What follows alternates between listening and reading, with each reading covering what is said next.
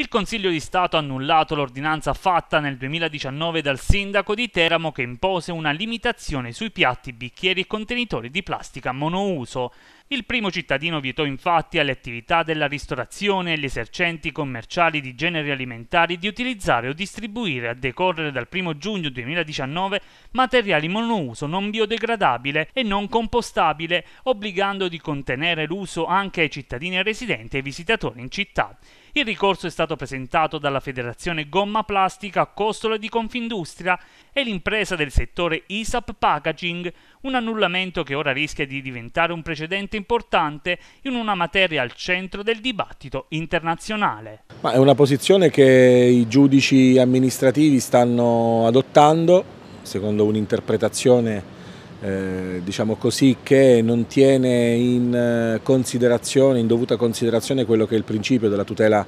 della tutela ambientale nel bilanciamento con altri principi e diritti costituzionali.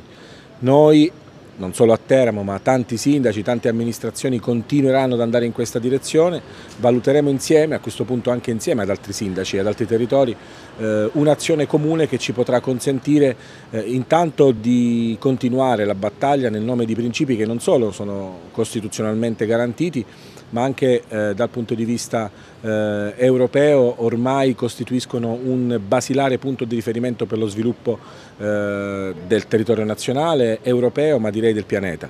Ecco perché in questo momento in cui si parla tanto di transizione ecologica, in cui si parla tanto di valorizzazione dell'ambiente, io ritengo che sia giunto il tempo per cui le istituzioni eh, congiuntamente lavorino affinché questo principio venga tutelato e garantito. Una decisione crea comunque un precedente, questo potrebbe portare anche altre città, come giustamente diceva lei, alla stessa situazione? Sì, diciamo che è un orientamento che purtroppo al di là di questa pronuncia che può costituire un precedente eh, si sta consolidando a tutti i livelli di giustizia amministrativa, quindi non solo eh, presso il Consiglio di Stato ma presso i vari, i vari, TAR. Ecco perché è importante assolutamente che ci si sieda intorno a un tavolo come, come sindaci, come territori, coinvolgendo tutti i livelli istituzionali perché il rischio è proprio, è proprio questo e ovviamente non ce lo possiamo permettere.